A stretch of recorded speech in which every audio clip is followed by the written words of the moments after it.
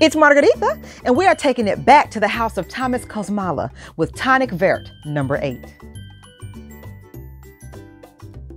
So as I mentioned in the previous video, I am new to this house, but I am all here for it. Like I'm here for all of it. I love nice quality, niche luxury perfumery.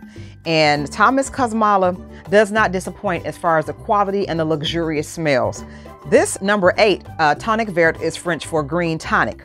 So I'm gonna spray it on this arm. Let's see how this atomizer is.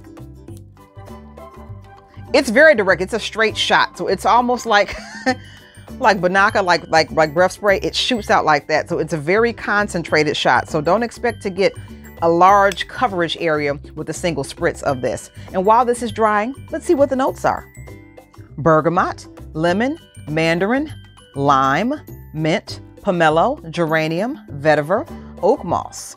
Hmm. So this is very green. So I see why they call it green tonic. Now what's interesting is the geranium, which is a red flower. So I wonder why that's in there. Um, vetiver is also a, a brown, brownish color, uh, peppery um, weed, for lack of a better. I don't know if it's a weed, but that's what it looks like. So I wonder what those two notes are doing because they're not necessarily green.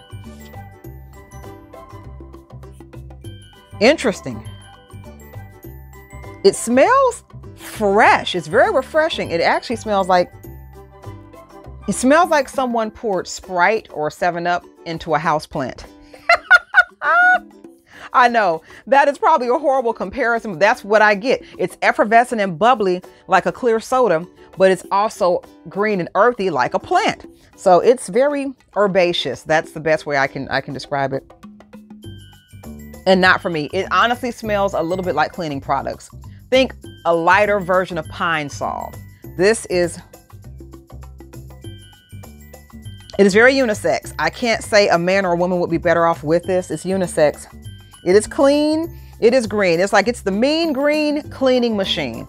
Um, yeah, kind of, ooh, it smells exactly like Comet. Yes, the, the, the tub cleaner you sp sprinkle in there, that, it smells like that. Uh, yeah, it smells like cleanser, yeah, bathroom cleanser. So no, this is not a keeper. It doesn't stink but if you want to smell like you can really, really clean a house, go for this. But oh Lord, Mm-mm. it doesn't stink. It does not. It just smells like household cleaning products.